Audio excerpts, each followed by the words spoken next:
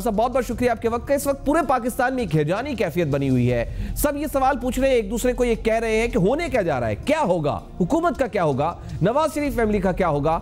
हर शख्स अपनी अपना तजिया दे रहा है। सर को गुत्थियाँ सुलझाएँ कि होने क्या जा रहा है? होगा क्या?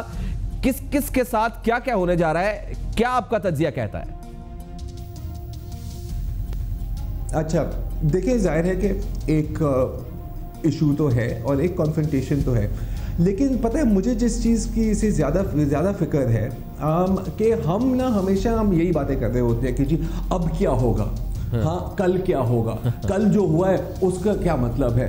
हम ये सारी चीज़ें हैं ना यार ये ट्रक की बत्तियाँ हैं। ठीक है? अगर आप ये सवाल पूछते ही हैं कि फ़ायदा किसका है नुकसान किसका है जी नुकसान सिर्फ़ और सिर्फ़ पाकिस्तान का है। और जब मैं पाकिस्तान कहता हूँ तो मैं रियासत पाकिस्तान की बात कर रहा हूँ ना आपकी आ, सियासी क्यादत की बात कर रहा हूँ ना आपकी अस्करी क्यादत की बात कर रहा हूँ। और मैं आपको एग्ज़ाम्पल देता हूँ।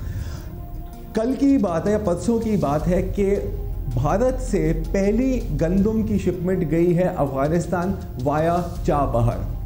पाकिस्तान और अफ़गानिस्तान की तजारत में एक बिलियन डॉलर की कमी आई है।